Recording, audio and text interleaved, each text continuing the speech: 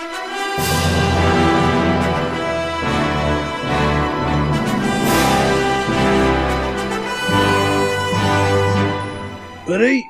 I'm Detective Inspector Tam McGleish, and this month I've been investigating your fucking Ni no Kuni.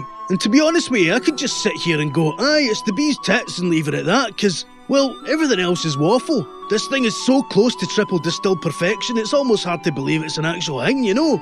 Like I've been spirited away to some alternate universe where Japanese RPGs aren't, eh, like, really fucking impenetrable, and you don't have to work hard to get into them. I should probably clarify that, right? I'm not the sort of prick who'd dismiss the entire nation of Japan's RPG output or anything like that. It's just that JRPGs, I tend to find them really hard to get invested in, you know?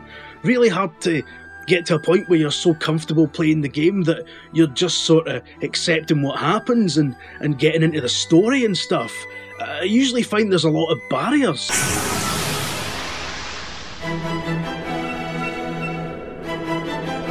fuck's sake, boys, get a rest. I'm trying to get something done up here. But Ni no Kuni, without doing anything drastic like ignoring its roots or being too dumbed down to satisfy any cunt, has managed the impossible. It's made someone like me, someone who would tend to avoid the very thing it is, completely and utterly fall in love with it. And I'm not entirely sure why. I mean, it could be Studio Ghibli's gorgeous art style. It could be Level 5's really impressively fluid battle system. But it could be this wee Welsh guy. That's for me to know and you to find out. Look lively. Drippy, Lord High Lord of the Fairies, one of the greatest video game characters ever conceived. Actually, fuck that, one of the greatest characters ever conceived, full stop. He enters the fray when the main protagonist, a wee boy called Oliver, suffers a terrible tragedy and greets onto his favourite stuffed toy, which via fantasy logic breaks an old curse and allows Drippy to spring to life and become a treasured companion to both Oliver and the player. Curse lifted, is it? Tiny! It's fucking brilliant. My critical faculties aren't even working with this thing. I'm just stunned. Absolutely stunned. My brain just can't process this amount of joy, you know. Maybe I need a wee companion to help us out. See, I'm a herd cunt, so I can't cry, but maybe. Jesus! oh, fucking hell. Are you alive? Of course I'm alive, you fat jock twat. It's just. I didn't expect. Didn't expect what? Didn't expect me to react to some wanker taking a piddle on my fucking head. I know you're a copper, but you can't just go around pissing on people with impunity, man. Bloody soaking, I am. Look, I'm, I'm sorry. Sorry. Sorry, he says. Here I am covered in the 95% proof urine of an overweight half naked copper, and you are bloody sorry. Right. How can I make it up to you? Well, you can give me some fucking Jaffa cakes, that'll be a start. Fucking what? Thanks, Tam, these are bloody lovely, these are. So, anyway, like any JRPG, Ni no Kuni is a game of many interconnected parts. At its core is an adventure of combat and exploration, but integral to that is the familiar system, which is essentially an entirely fleshed out game of Pokemon built in. I mean, is that no fucking magic? Have you not played a Pokemon game in your DS and thought, Christ, this is cracking, I wouldn't mind the big console version of this? Well, fucking here it is, wire in, brilliant. So as you go around setting about cunts and gathering XP, your familiars level up with you, plus you can give them treats to boost their stats, like chocolate bars and heroin and all that.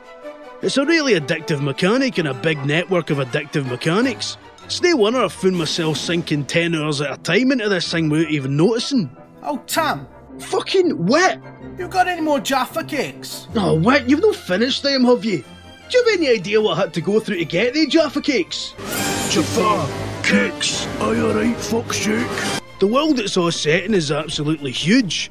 You start off in the real world, where there's a pretty healthy size of toon to cut a boot in, and then you get to the magical fantasy place that just keeps getting bigger, and bigger, and bigger. Look, I've got a wee boat and everything. The game gets drip fed to you and all. It's really expertly paced, never overwhelming you. Gives you a chance to get to grips with everything it teaches you before it gives you more. I was wondering if you might lend us a bit of a hand, like. If you're 20, 30 hours in, you'll still be learning new things about how you play it, as well as seeing new places to explore. It's just an amazing amount of beautifully animated fun. But don't think the cutesy art style means it's going to be a piece of piss. There's some pretty fucking tough fights in this thing.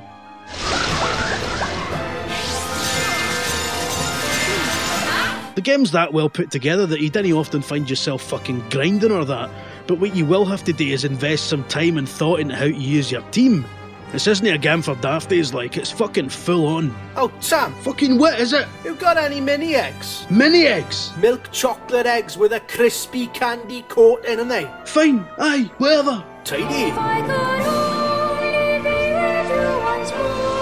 This game's brilliant. It's charming and deftly constructed. And, well, if you've got a PS3 and you're no bother about Ni no Kuni, then you're being a wanker, so get it dealt with. Right, what the fuck's that wee prick up to? Oh, for fuck's sake, he's doing stand up. Oggy, oggy, oggy. Oi, oi, oi.